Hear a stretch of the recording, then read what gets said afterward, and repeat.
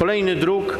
Wyrażenie zgody na udzielenie bonifikaty przy sprzedaży w trybie bezprzetargowym na rzecz najemcy lokalu użytkowego oznaczonego symbolem U1 usytuowanego w budynku położonym przy ulicy Ditla 62 w Krakowie stanowiącego własność Gminy Miejskiej Kraków wraz z sprzedaży udziale, udziału w gruncie pod budynkiem. Druk 1366. Bardzo proszę pani dyrektor.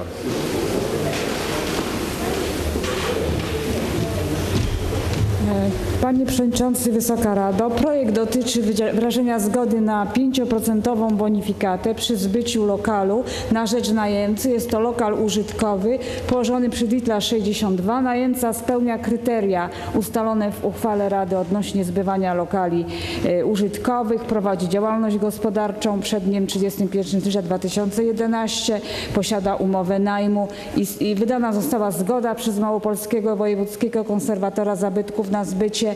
I tak jak e, w podobnych sprawach tego typu e, pro, propozycja dotyczy udzielenia 5% bonifikaty, ponieważ z ustawy przysługuje bonifikata 50% w odniesieniu do zabytków, niemniej Rada może zwiększyć lub zmniejszyć tą bonifikatę. W sprawach e, dotychczasowych projekty przewidywały jedynie 5%, czyli zmniejszenie bonifikaty z 50 do 5%. Z uwagi na zasadę równego traktowania podmiotów projekt ten również przewiduje 5% bonifikatę. Dziękuję.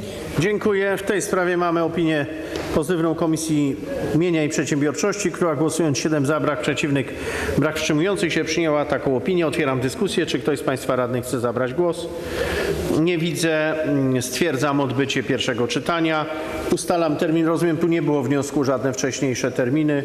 Ustalam termin zgłaszania e, autopoprawek na 16 lipca godzina 15. Ostateczny termin zgłaszania poprawek 18 lipca godzina 15.